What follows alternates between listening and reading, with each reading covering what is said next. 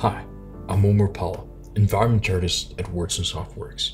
Today we'll be going over a simple trick on rotating objects using materials, shaders, instead of blueprints to cut off from CPU and load that into a GPU work, where we're just going to rotate simple static meshes and we don't want to create blueprints for that, just a simple look that's going to rotate around the, the Z axis and just for the looks and the visual interest and we don't really have to set up blueprints for that and just a static mesh and the material is going to do the trick for that. It's very simple, just few nodes will get us there. So let's get started. We're going to first create our material and we're going to call that M um, underscore rotate. Let's call it that. Let's open up our blueprint and shader graph, pardon. And I'm just gonna add in vector 3 node for the color and let's go with gray.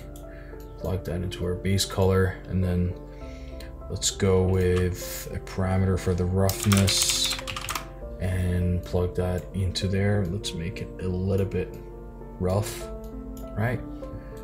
And now um, we can start working. We're gonna be using the world position offset to um, rotate our object and this output is actually used for anything that's going to be moving the object through shader. This is the result that you want, but of course you have to be careful because moving object requires uh, manipulation of vertices through shader, and that's why your normal has to uh, correspond accordingly.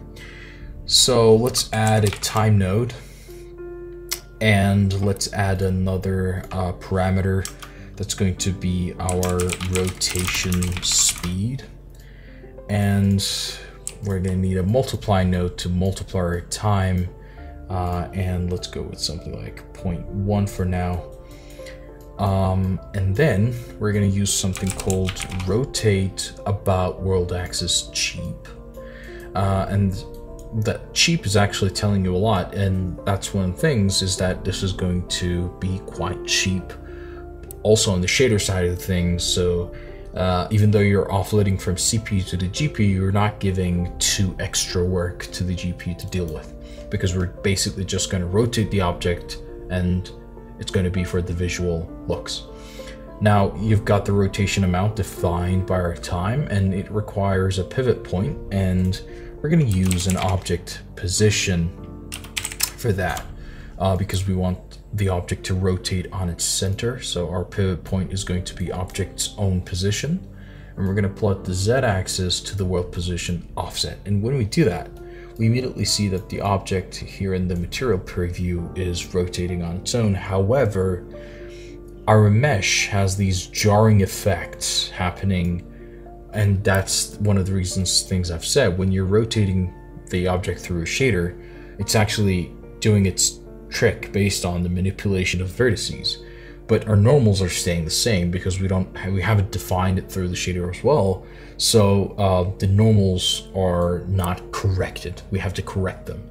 So to do that, first I'm going to add a vector 3 node, again like a color, but this time I'm going to set our uh, blue channel, which is going to correspond for the Z as we have rotated on the Z axis to flatten it and fix it completely.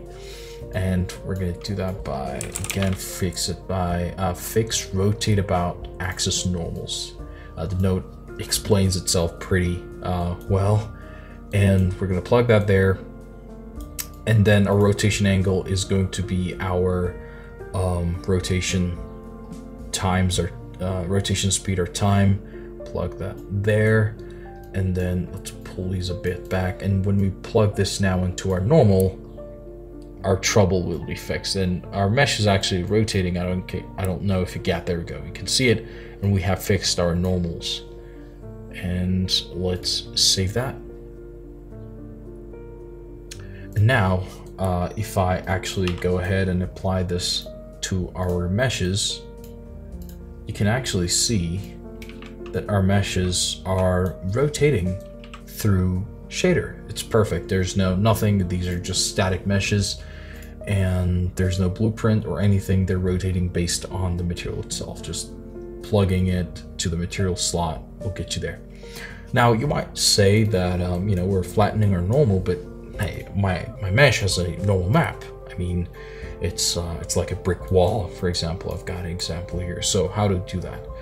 So let's bring in our normal that we would normally plug in, and basically we're going to use something called blend angle corrected normals. These are used to especially for uh, normal detail normals, but also in the cases of like these will allow you to mesh two normal maps in, in cases like these.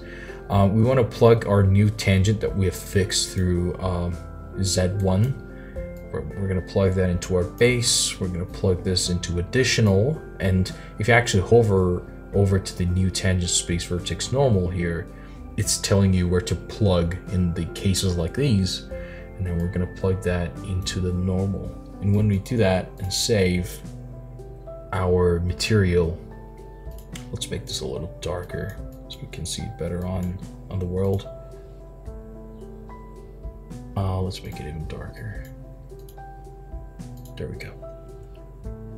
Um, and now, as you can see, our meshes also have our normals uh, working pretty well with it. They're they have their own normal detail that we have, you know, our custom normal we have painted, uh, and as well as their object rotating based on that. And here we have any object you can uh, drag in and drop from to, to the scene and then uh, you can just apply this and then you have a rotating shape based on that.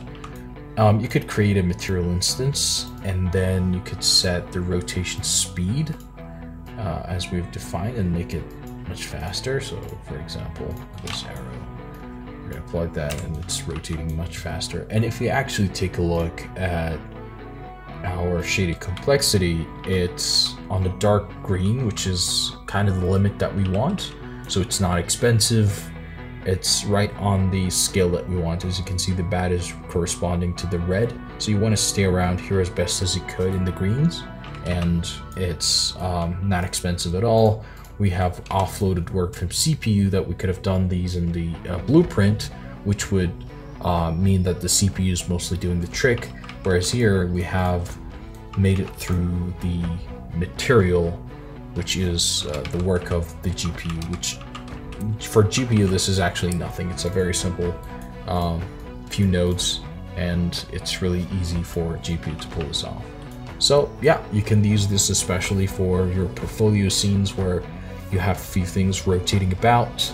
Um, you could use these with blueprints, for example, but also I think this way is kind of more simple, uh, especially for more uh, simpler things that do not have any interaction, just for the looks and visuals. You could go away with that approach. So I hope this was helpful. I'll see you next time.